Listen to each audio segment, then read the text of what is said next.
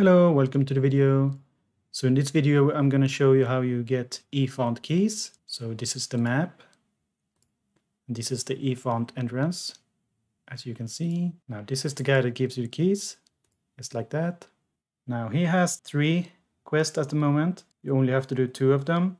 His first quest is uh, the hard one, or well, maybe both are pretty hard actually. The first one is expensive. You need 200 average mana potions, 600 icing Ironbite, 150 jellyfish.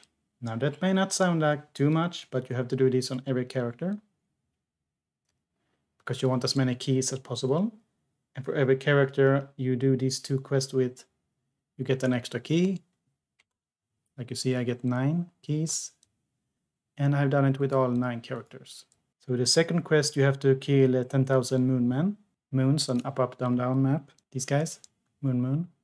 Now that's not the hard part. The hard part is to get a ghost. Once you really want a ghost, suddenly it's a lot harder to get one.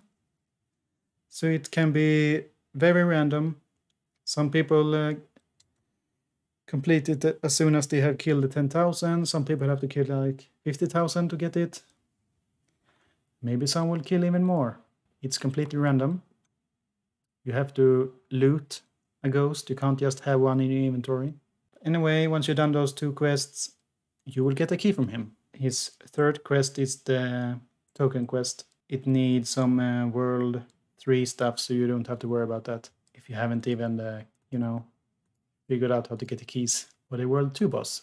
Anyway, once you have them, you can just use them like this. And now you have even more keys. Thank you for watching and I will see you in the next video. Bye bye!